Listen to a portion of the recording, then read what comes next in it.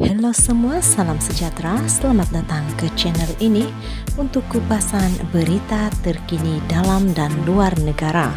Jangan lupa untuk tekan like, komen, dan share video ini. Berkacamata hitam Pasha Sanda kongsi keadaan terkini masih boleh nampak tapi tak berapa jelas.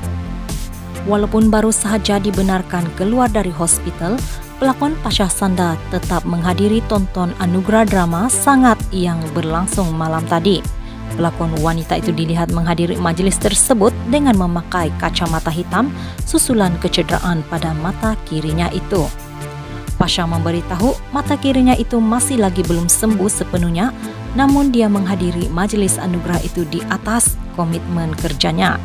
Menurutnya, dia kini sedang menunggu waktu yang sesuai dan memastikan bengkak pada muka surut dahulu untuk melakukan pembedahan pada bahagian matanya itu.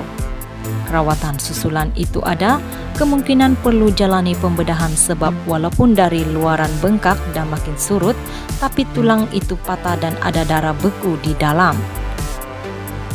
Dipahamkan pelakon itu mungkin perlu melakukan pembedahan itu selain terdapat darah beku pada bahagian dalam matanya. Dalam masa yang sama, Fasha memberitahu keadaan matanya juga sangat tidak selesa malah penglihatannya tidak berapa jelas buat masa ini. Keadaan mata saya sangat tidak selesa ketika ini. Saya masih boleh nampak tapi tak berapa jelas bila kita sakit mata dia ada memberi kesan sehingga sakit kepala. Terdahulu Pasha Sanda mengalami kemalangan di set penggambaran semasa melakonkan babak pergaduhan bersama pelakon Azhan Rani.